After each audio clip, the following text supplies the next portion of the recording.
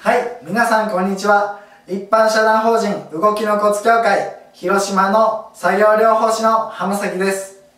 本日はいつもの字幕はございませんが、その分分かりやすくしっかりお伝えしていきます。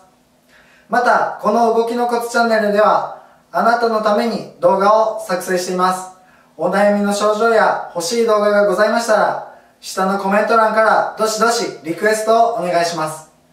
それでは本日のコツに行きます。本日は麻痺側の足に体重を乗せたくてもなかなか力が入りにくいといった方の解決する動画になります。はい。では結論を申しますとなぜ麻痺側の足に力が入りにくいのかというのは麻痺側の足が体重を支えるという準備ができていないから体重が支えにくいということが原因になります。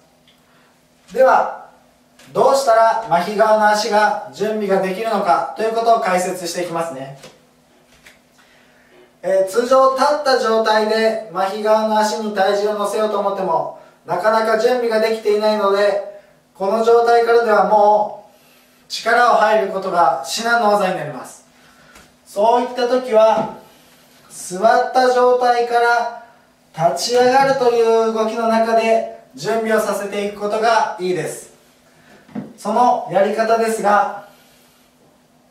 麻痺側の足に力が入らない場合体重の移動をしっかり感じないと麻痺側の足は力を発揮してくれにくいです。お尻にある体重座った状態の時にまずお尻に体重があります。これを次は太ももに体重をバトンタッチしていかないといけないのですがこの時にお尻から次は太ももに体重を乗せていくよというバトンのことを意識することが大事です。太ももの方にお尻にある体重があ太ももの今ぐにゅーっと体重が乗ってきたぞというのを想像した通りイメージした通りに体重が乗ってくるかどうかというのをまず確認してください。そして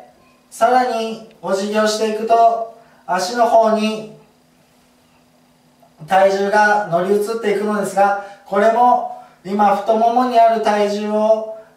足に乗せたらきっとこんな感じの感覚が足の裏に来るはずだ。こうやって体重が床でぐにゅーっと足の裏が潰れる感覚があるはずだなということをイメージして意識しながら体重を移動させていきましょう。そうするとああ来た来た来た。今足の裏に体重が乗ってきたぞ。ぐにゅーっとなってきたぞ。というのが感じた時にゆっくり立ってみてください。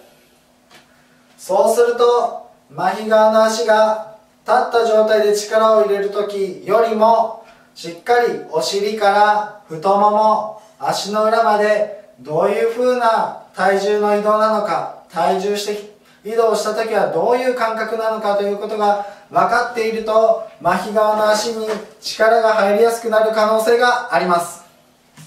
ぜひ試してみてください。はい。本日は以上になります。えー本日のやり方でうまくいかなくても決して諦めないでください。無料の電話相談を行っておりますので今回のやり方でうまくいかなかった方はぜひご連絡をください。最後にお願いがあります。この動画がお役に立てましたらぜひ下の